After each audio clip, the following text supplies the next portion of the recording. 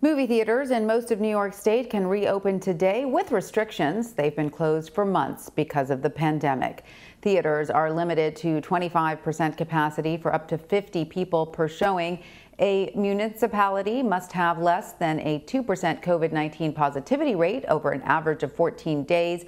Moviegoers must wear masks unless seated, eating, or drinking, and social distancing measures must be observed between all parties.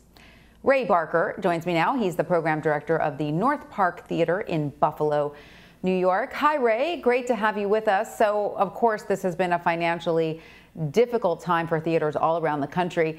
But now that they are reopening in New York, do you think people are ready to return?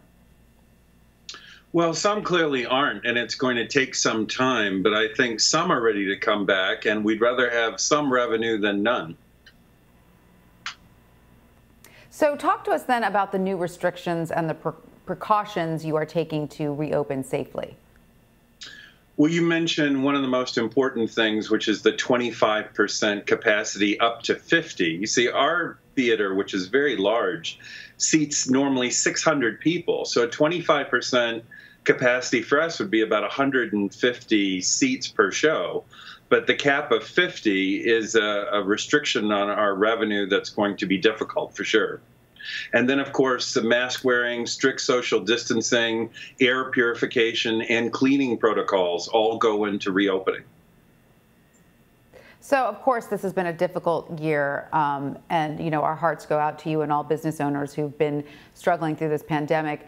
But it, it is also a year for you guys to be proud of. You are celebrating 100 years. Is that correct? So, for people who yes. aren't familiar with your historic theater, I think we can call it historic, um, tell us about it and what you have in store for those who will be able to come back to your theater. Our centennial anniversary is November 21st. Uh, 2020 is not really a year for celebrating. I think 2020 is a year for surviving.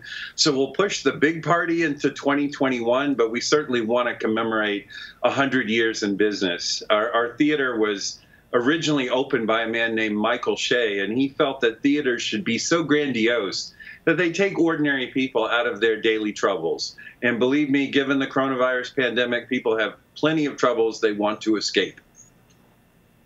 That is absolutely the truth. Well, Ray Barker, thank you so much for joining us and good luck on your reopening. Thank you so much. Pleasure to join you.